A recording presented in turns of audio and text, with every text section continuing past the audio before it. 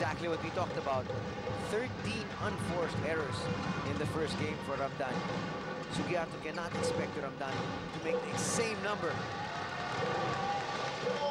It's now 4 love for Malaysia.